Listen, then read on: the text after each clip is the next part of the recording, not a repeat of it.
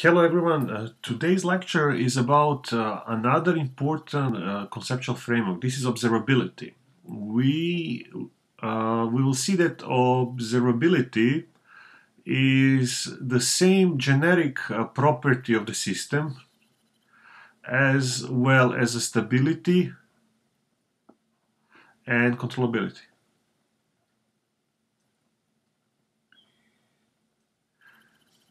Let me just correct this for the second here. So observability. Observability.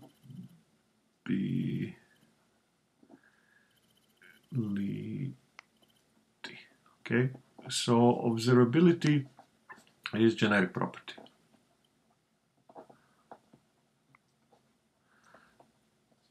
Property same as but what does it mean observable system to be observable? The simplest answer is that its ability to be observed or in other words can we determine initial conditions from the measurements of the input and output? Uh, so ability to observe the states. The to observe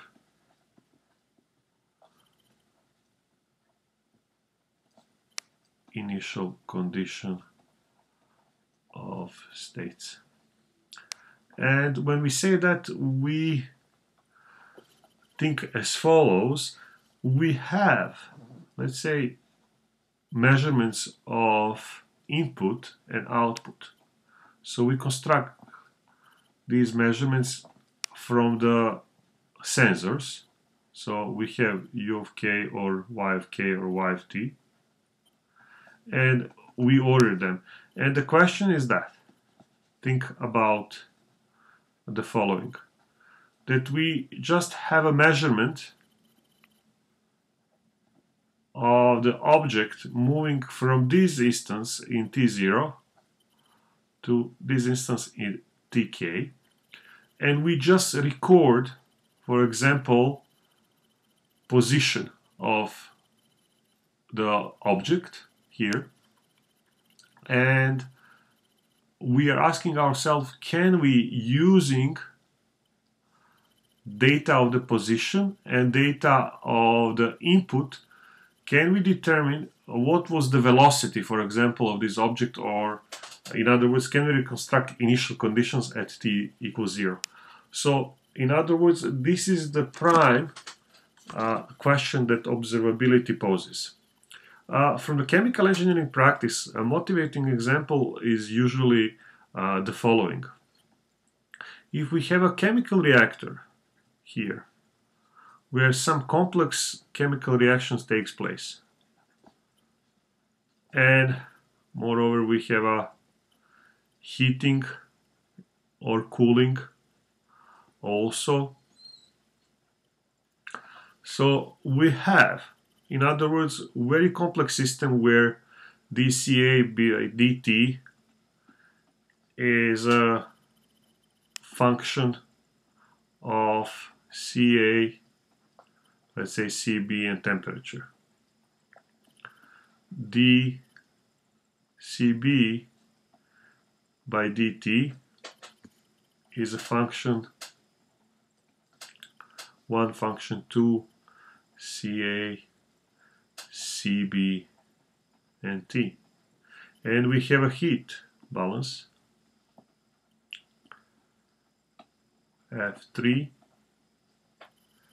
and again is a function of CA CB and T. However our output measured is just a temperature because we have ability to measure the temperature here in the system.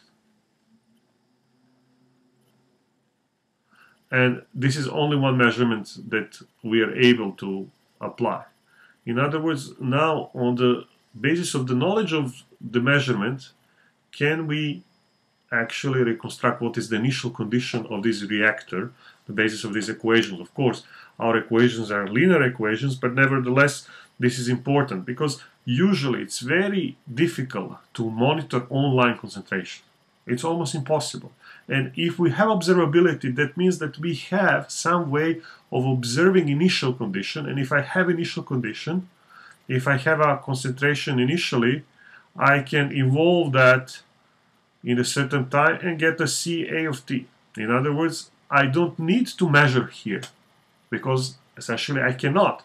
But if I have observability, I can reconstruct in the real time here what is the concentration because I can reconstruct initial conditions and from reconstruction of initial conditions I can run the model and observe the concentrations. That is the, the core of the therefore observer design that we are going to look after. Observer observer design. So, so this is this is something that we uh, need to uh, to memorize.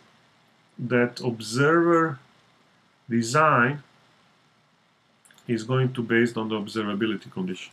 And in other words, uh, what does it mean uh, in reality? Let's look at a simple example when uh, we have the case that we observe. Let's, let's assume that we have system xk plus 1 a of x of k, what actually this observability implies. And we have that uh, output is y of k, cx of k. So this is our system, okay? This is the model of the system. We, we just disconnected the input, okay? So now we record the measurements. We record.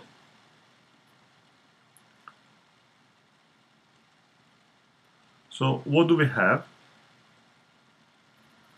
We have that y of 0 is equal cx of 0. y of 1 is equal ca x of 0.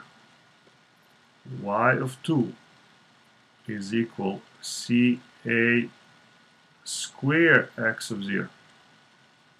Okay? And so we build this up to y of n which is C, A, and, for example, we have n measurements, x of 0. In other words, we have here the n plus 1 measurements. Okay? And what is this on the right side? On the right side, we have here matrix here that is C, C A, C A square, and all the way to the C A N. Okay? And this is just x0. Okay. Now we see that this is n plus 1. This is 1. So this is n plus 1 by n, and this is n by 1. Okay? In other words, we have that, let's just look at the matrix measure, n plus 1 by 1 is equal n plus 1 by small n. Okay, this is this matrix here. And here we have a matrix of x0 is just n by 1. Okay. This implies that this matrix here, this matrix here that is that is here, this matrix here and this matrix here they're dimensionally consistent and now we have I'm calling this matrix here a hat this is x0 and this is the matrix of the measurements. Y measurement. So it is required that this matrix can be invertible okay? So in other words we have that n is equal n minus 1 that number of measurements here is equal n minus 1 measurements. So this is the required.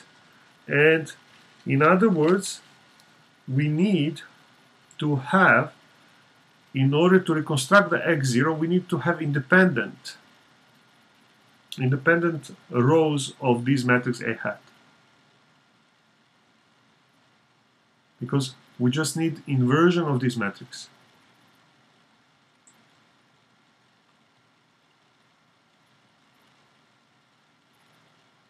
so C A n minus 1 where n here is the size where small l n is the size of A. Okay. In other words the condition for the observability is the condition of invertibility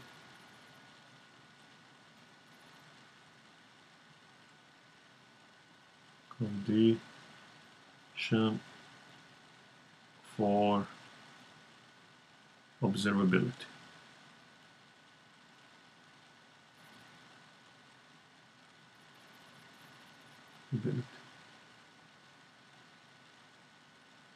is condition that we can invert this matrix A hat.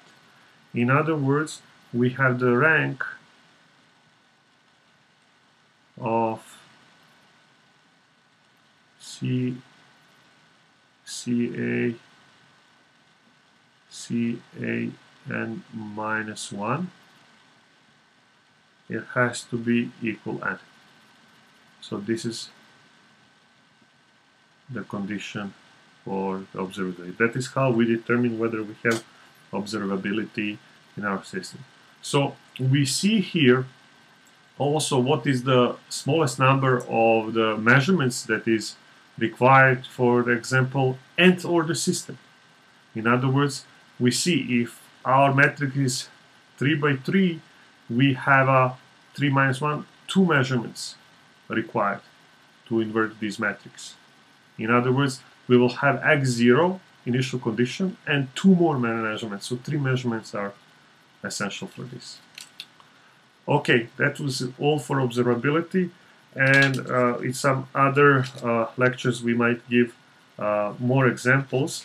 Uh, the case when we have input added, it's just that we will have additional matrix here that has to uh, uh, be invertible, but if this is this a hat is not invertible, then observability will not hold.